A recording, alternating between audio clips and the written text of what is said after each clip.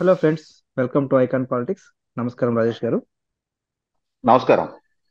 Sir చూస్తున్నాము ఆంధ్రప్రదేశ్లో తెలుగు ఆ, తెలుగుదేశం పార్టీలో వాళ్ళ అధినాయకుడిని అరెస్ట్ చేసిన తర్వాత ఇప్పటి వరకు బెయిల్ కానీ లేదంటే ఆ కేసు స్క్వాష్ పిటిషన్లో కానీ ఎటువంటి తీర్పు రాలేదు.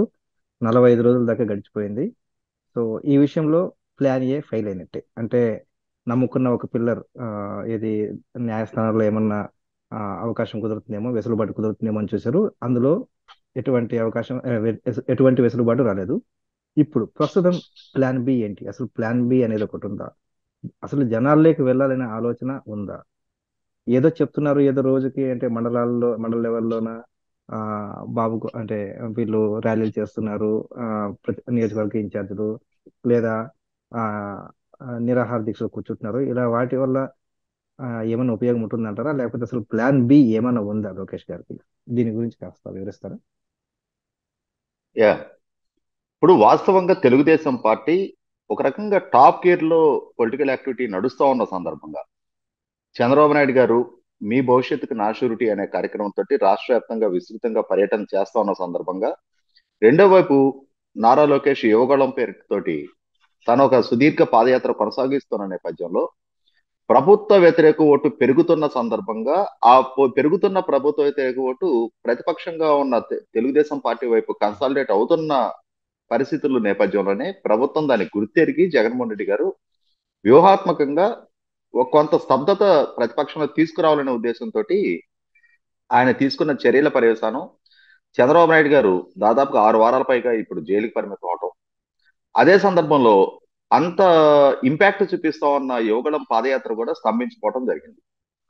మీరు ప్రస్తావించినట్టుగానే ఖచ్చితంగా ప్లాన్ ఏ అనేది విఫలం చెందింది అనేది వాస్తవం.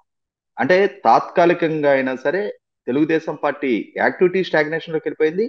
రెండోది ఇమ్మీడియట్ రిలీఫ్ అనేది. ఇమ్మీడియట్ రిలీఫ్ కాదు దాదాపుగా ఆరు వారాల పాటు లోయర్ కోర్టు నుంచి గౌరవ సుప్రీం కోర్టు వరకు న్యాయ పోరాటం జరిగిన తర్వాత కూడా ఇప్పటికీ ఇంకా దసరా సెలవులు పూర్తయిన తర్వాత మాత్రమే అంతిమ ఫలితం ఏం రావడానికి ఆస్కారం ఉందనేది ఎదురు చూడాల్సిన పరిస్థితుల్లో తెలుగుదేశం పార్టీ శ్రేణులు ఉన్నాయి. ఇటువంటి నేపథ్యంలో గత కొన్ని రోజులుగా నారా లోకేష్ ఢిల్లీలో ఉండి పార్టీకి సంబంధించి చంద్రబాబు నాయుడు గారి కేసులకు సంబంధించిన న్యాయవాదులతో మాట్లాడటము ఇటువంటి జాతీయ మీడియాతో మాట్లాడటం లాంటి కార్యక్రమాలు టేకప్ చేస్తున్నా కూడా యువగళం పాదయాత్ర ఆపి ఉండాల్సింది కాదు ప్రజల్లో దాన్ని కొనసాగిస్తూ ఉండాల్సింది అని చెప్పని చెప్పేవాళ్ళు చెప్తా ఉన్నారు. కానీ ఇక్కడ మనం కూడా లోకేష్ స్థానంలో ఉండి ఆలోచించినప్పుడు తను పార్టీ ప్రధాన కార్యదర్శే కాదు చంద్రబాబు నాయుడు గారికి ఏకైక వారసుడు ఏకైక కొడుకు. ఖచ్చితంగా ఇటు పార్టీని సమన్వయం చేసుకోవడం సమన్వయం చేసుకోవడం ఎంత బాధ్యత ఉంటుందో అదే సందర్భంలో కుటుంబంలో ఆ బంధాలకి కూడా విలువ ఇవ్వాల్సిన అవసరం కూడా అంతే ప్రాధాన్యత ఉంటుంది. ఇప్పుడు లోకేష్ వాళ్ళ నాన్నగారిని అరెస్ట్ చేసే చేశారులమ్మని చెప్పని తను పొలిటికల్ యాక్టివిటీలో ఎంగేజ్ అయిపోయి ఉంటే ఇప్పుడు ఆ కార్యక్రమం చూడటానికి కూడా ఒకళ్ళు కుటుంబ పరంగా ఆ బాధ్యత తీసుకోవాల్సిన అవసరం ఉంది కదా? ఇవాళ చంద్రబాబు నాయుడు గారు చంద్రబాబు నాయుడు గారి తరఫున న్యాయ పోరాటం చేయాల్సిన అవసరం కూడా ఉంది. ఇటువంటి నేపథ్యంలోనే తను ఆ తాత్కాలిక విరామం ప్రకటించి కొద్ది కొద్ది రోజులు వేచి చూడటం జరిగింది. కానీ అది సుదీర్ఘ న్యాయ పోరాటం జరగాల్సిందే అనేది అర్థమవుతున్న దృష్ట్యానే ఇప్పుడు భువనేశ్వర్ గారు స్వయంగా ఇరవై ఐదో తారీఖు నుంచి వారు నిజం గెలవాలి అనే పేరుతోటి వారు ఒక కార్యక్రమం టేకప్ చేస్తా ఉన్నారు. చంద్రబాబు నాయుడు గారు అరెస్టు జరిగిన నేపథ్యంలో మనోవేదంతో ప్రాణాలు కోల్పోయిన తెలుగుదేశం పార్టీ కార్యకర్తల కుటుంబాల్లో మనోధైర్యం నింపాలనే ఉద్దేశంతో ఆ కుటుంబాలని పరామర్శించడం వాళ్ళకి ఓదార్పు అందించడం అనేది తమకు త- తప్పనిసరిగా అదొక కృతజ్ఞతాపూర్వకంగా ఉంటుందనే ఉద్దేశంతో భువనేశ్వర్ గారు ఆ కార్యక్రమం సంకల్పించుకున్నారు. వాస్తవంగా ఇది ప్రజలు ఊహించిన పరిణామం. అంటే చంద్రబాబు నాయుడు గారు నారా లోకేష్ మాత్రమే ప్రజా జీవితంలో కొనసాగుతున్న నేపథ్యంలో భువనేశ్వర్ గారు బ్రాహ్మణి వారు వారి కుటుంబ వ్యాపారాలను మాత్రమే చూసుకుంటూ లేదు ఎన్టీఆర్ ట్రస్ట్కు సంబంధించిన సేవా కార్యక్రమాలకు మాత్రమే పరిమితం అవుతూ ఉండేవారు. వారు యాక్టివ్ పాలిటిక్స్లోకి వస్తారు ప్రజల్లో క్రియాశీలకంగా పనిచేయాల్సిన పరిస్థితులు వస్తాయని గతంలో ఎవరు ఊహించలా? బహుశా చంద్రబాబు నాయుడు గారు వారి కుటుంబ సభ్యులు కూడా ఈ పరిస్థితులు ఎదుర్కోవాల్సి వస్తాయని చెప్పని ఎవరు ఊహించిన ద- దృష్టాంతం లేదు. కానీ సిచ్యుయేషన్ డిమాండ్స్ పరిస్థితి అట్లా వచ్చేసింది ఇప్పుడు. నూటికి నూరు పాళ్ళు ఇప్పుడు భువనేశ్వర్ గారు అయినా సరే క్రియాశీలకంగా బాధ్యత తీసుకొని ముందుకు రావాల్సిన అవసరం ప్రభుత్వమే సృష్టించినప్పుడు వారు కూడా వెరవకుండా ముందుకు రావడానికి సిద్ధపడ్డారనేది వాస్తవం.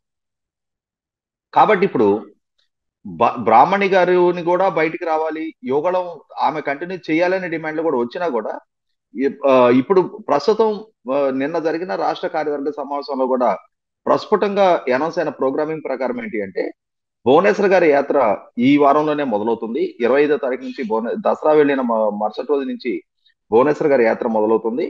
ఆ తర్వాత వారి యాత్రతో కొనసాగుతూ ఉండగానే నారా లోకేష్ కూడా చంద్రబాబు నాయుడు గారి మీ భవిష్యత్తుకు నా షూరిటీ అని చెప్పనే యాత్ర ఎక్కడైతే నంద్యాలలో వారిని అరెస్ట్ చేసిన సందర్భంగా ఎక్కడైతే ఆగిందో అదే ప్రాంతం నుంచి ఆ బాధ్యత తను తీసుకోవడానికి సిద్ధపడుతున్నట్టుగా కూడా పార్టీ వైపు నుంచి ప్రకటన రావడం జరిగింది. పార్టీ శ్రేణులు కూడా తెలియజేయడం జరిగింది. ఇదే సందర్భంలో మీ- మీరు ఇందాక చెప్పినట్టుగానే చంద్రబాబు నాయుడు గారి అరెస్టు జరిగిన తర్వాత తెలుగుదేశం శ్రేణులు అయితే ఏమి కాళ్ళు ముందు పెట్టి కూర్చోలా. ఖచ్చితంగా వారు అరెస్టును నిరసిస్తా వివిధ కార్యక్రమాలు వివిధ రూపాల్లో తీసుకుంటా ఉన్నారు. ప్రజల్లో చంద్రబాబు నాయుడు గారి అరెస్టుని ఒక చర్చనీయాంశంగా చేయడంలో సఫలీకృతం అయ్యారు. రాష్ట్ర బంధు సక్సెస్ఫుల్గా చేశారు. ప్రభుత్వాన్ని ప్రభుత్వం అంటే ప్రభుత్వం ఎంచుకుంటున్న విధానాల్ని ప్రజల్లో ఎండగట్టడంలో కొంతవరకు సఫలీకృతం అయ్యారు. కానీ పూర్తి స్థాయి ఎన్నికలకి సన్నద్ధం చేసే స్థాయిలో ఒక రాజకీయ కార్యకలాపాలు నిర్వహించడంలో అయితే కొంత వెనకబడింది. అంటే చంద్రబాబు నాయుడు గారు అరెస్టు పట్ల నిరసన తెలియజేయటం వేరు. ప్రభుత్వం తీసుకుంటున్న తప్పుడు విధానాలు ప్రభుత్వంలో ఉన్న లోపాలు లోటుపాట్లు ప్రజలకు ఎదురవుతున్న కష్టాలు కడగండ్లు వాటిని ఎక్స్పోజ్ చేసే దిశగా ఒక రాజకీయ పరమైన యాక్టివిటీ టేకప్ చేయడంలో ఈ నా ఆరు వారాలుగా నూటికి నూరు పళ్ళు కొంత స్తబ్దత వచ్చిందనేది వాస్తవం. ఇటువంటి నేపథ్యంలో రేపు నారా లోకేష్ మీ భవిష్యత్తుకు నా షూరిటీ పేరుతోటి మహానాడు వేదికగా తెలుగుదేశం పార్టీ ఇచ్చిన మేనిఫెస్టోని ప్రజలకు చేరువ చేసే లక్ష్యం. అదే సందర్భంలో ప్రభుత్వానికి వ్యతిరేకంగా ప్రభుత్వం ఏం చెప్పి అధికారంలోకి వచ్చింది వాళ్ళ ఏ విధంగా పరిపాలన చేస్తా ఉంది ప్రజలకు ఎటువంటి ఇబ్బందులు కష్టాలు ఎదురవుతా ఉన్నాయి అనేది ఎత్తి చూపడానికి కూడా ఈ ఈ కార్యక్రమం ఉపయోగపడుతుంది. కాకపోతే తను చంద్రబాబు నాయుడు గారు బయటకు వచ్చిన తర్వాత మళ్ళీ తిరిగి యువగళం పాదయాత్ర కొనసాగించడానికి సిద్ధం అవుతున్నట్టుగా తన వైపు నుంచి కూడా అటువంటి సంకేతాలు వచ్చున్నాయి ఏదేమైనా ఈ రాబోతున్న వారం నుంచి ఆరు వారాల స్తబ్దతకి తెర- దించుతా.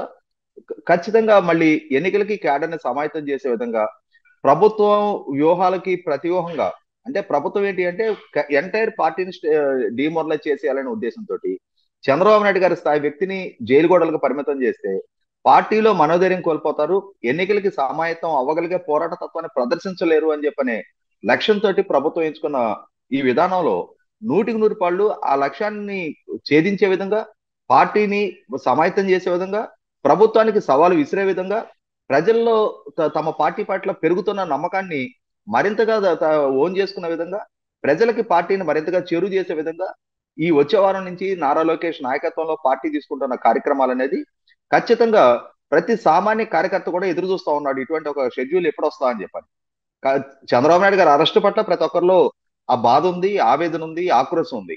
కానీ అది సుదీర్ఘ న్యాయ పోరాటం ద్వారానే అది సాధ్యపడుతుంది తప్ప బజార్లో ఆందోళన చేయడం వల్ల చంద్రబాబు నాయుడు గారు బయటికి రావడం సాధ్యం కాదు.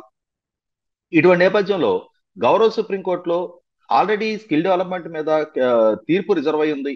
ఫైబర్ నెట్ మీద నవంబర్ ఎనిమిదో తారీఖు వరకు వాయిదా పడింది ఇన్నర్ రింగ్ రోడ్డు మీద కూడా స్టేటస్ కో కంటిన్యూ అవుతా ఉంది. అంగళ కేసులో ఆల్రెడీ బెయిల్ వచ్చేసి ఉంది.